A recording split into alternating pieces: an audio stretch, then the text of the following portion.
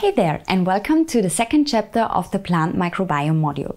Within the last chapter, we introduced the plant microbiome in general, its transmission, assembly, and functions. Today, we would like to translate these facts onto an economically very important crop, which also became one of the model plants for microbiome research the apple. A lot of research has been conducted on the apple microbiome in recent years.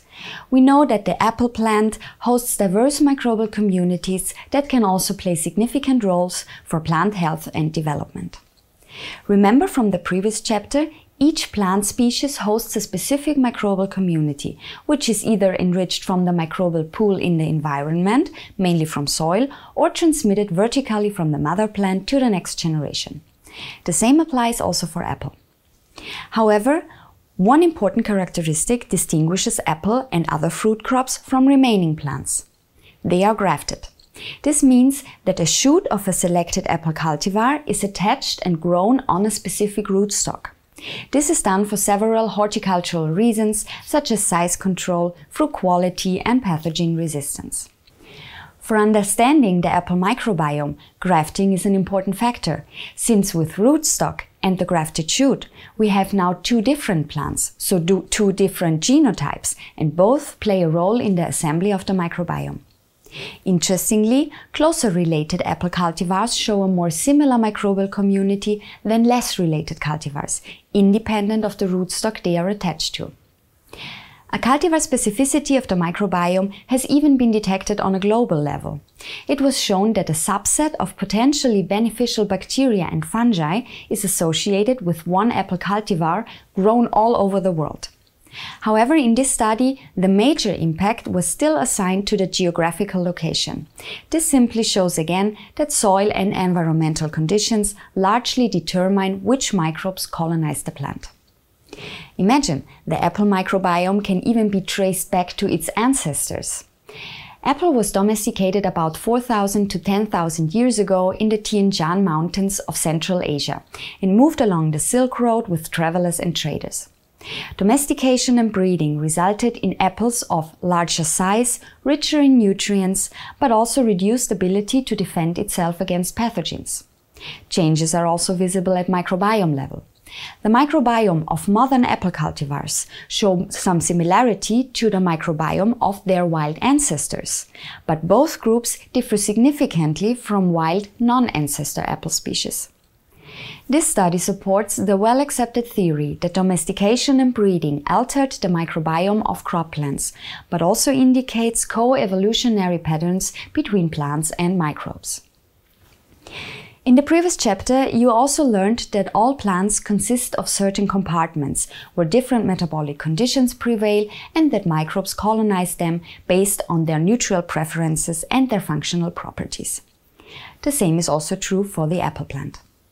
The apple rhizosphere has been investigated intensively by plant pathologists due to economically important soil-borne diseases such as the apple replant disease. This disease is still of great concern since it's not caused by a single pathogen, but by a complex of pathogenic fungi, oomycetes and nematodes, and thus very difficult to control. The rhizosphere microbiome, however, can act as a barrier to reduce infection of roots by the pathogens. In addition, mycorrhiza and growth-promoting bacteria have been assigned to the apple rhizosphere. But also within other plant compartments, several plant beneficial microbes have been detected. The caulosphere is the microbial habitat of bark and stem. Here, conditions for microbes are rather harsh, nutrient poor and dry, but at the same time quite stable, and the associated microbiota are often rich in abundance and diversity. When we move upwards, the colonization density is generally decreasing. The phyllosphere provides very unstable and nutrient-poor conditions and represents a rather extreme environment, considering temperature, light exposure, UV radiation and rainfall. The leaf endosphere is more stable than the surface, and microbes that reach this inner space often form a close and intimate relationship with their host, which makes them also interesting for research and agriculture. The anthosphere is the microbial habitat of the flower, and research on apple discovered a lot of its general microbial composition and function. Here, microbes find more favorable and nutrient-rich conditions, and they also find so different so-called microhabitats, such as petals, pollen or nectar. All of them can host different microbiota. Flower communities are also highly interesting for research since they can contribute to the assembly of seed and fruit microbiomes.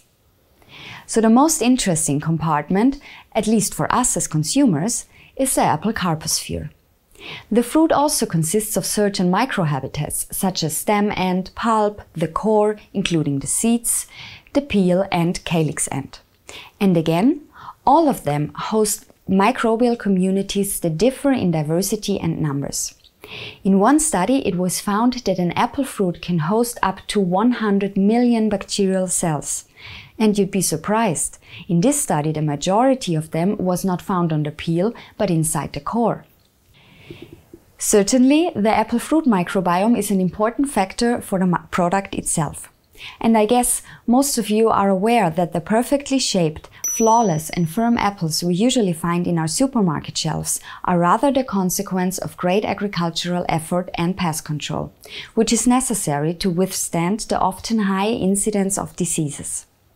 We know that different management practices influence the microbiome of croplands, also that of apple fruits, and health-related consequences are not exclusionary by default.